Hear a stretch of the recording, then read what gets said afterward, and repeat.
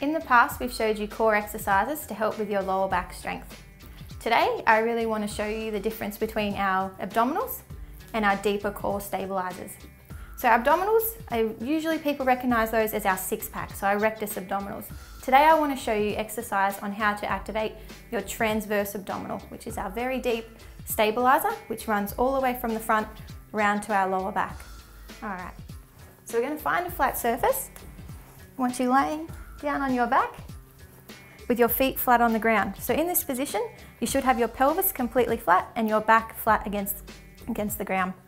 So what you want to do is put your hands on the front of your hip bones and just roll them in on the inside.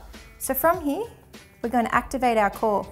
So to do that, you suck your belly button down as if you're trying to get it to touch your back.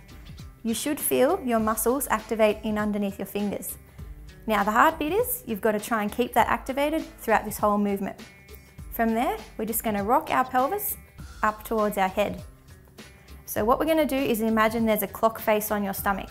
So right now, we're rocking our pelvis up to 12 o'clock.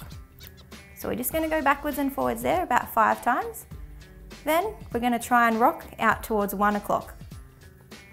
Same thing again, you've got to make sure you can feel that transverse abdominal, tight underneath your fingers. Keep your belly pushed down towards your back. Then we're gonna keep going around.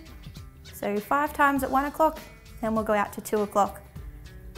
And then we keep going around to three o'clock, and nice small movements. We shouldn't have your whole pelvis coming off the table. It's just nice small rocking motions. And you want to keep going until you've done five all the way around till you get back to 12 o'clock.